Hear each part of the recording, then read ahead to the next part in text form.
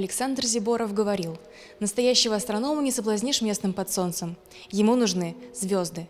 Именно таких, настоящих ценителей этой науки, сегодня наградили в Санкт-Петербургском государственном университете.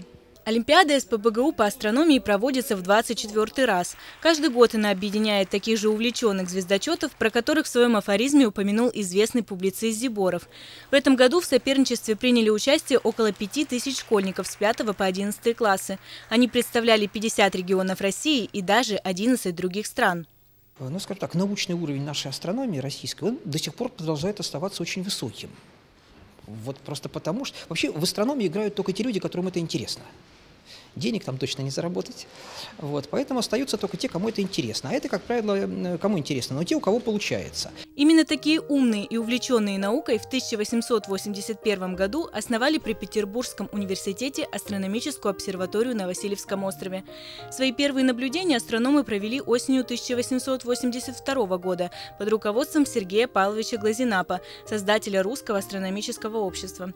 В советское время обсерватория была преобразована в астрономический институт, институт, который в конце 90-х стал носить имя основателя Ленинградской школы астрофизики, выдающегося университетского ученого профессора Виктора Викторовича Соболева.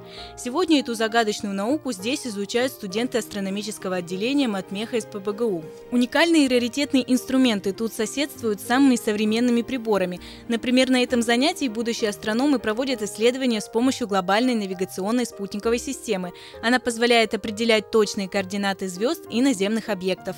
Она довольно сложная наука, то есть э, это вещь, э, в которой есть что не понимать. То есть если физика мне кажется, ну, хотя бы в некоторых местах интуитивно понятно, то от астрономии вообще непонятно, что можно ожидать, и это весьма приятно. Астрономия – это такой предмет, который, э, наверное, интересен всем людям на Земле, потому что наверное, еще с древних времен люди хотели узнать, что же там на небесах происходит.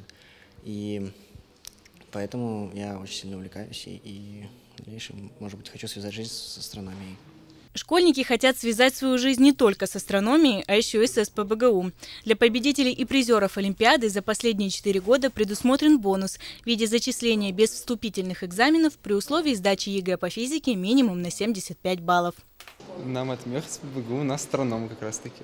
Э, матмех СПБГУ. На Матмех СПБГУ, то есть это в Петербурге, как я понимаю, единственное место, где есть астрономия, а, такая ярко выраженная, ну, соответственно, туда.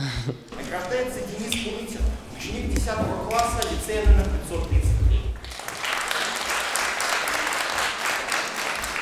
Влада Кочурина, Евгения Долгова, Владимир Лушин, Денис Сосин, телеканал «Мост».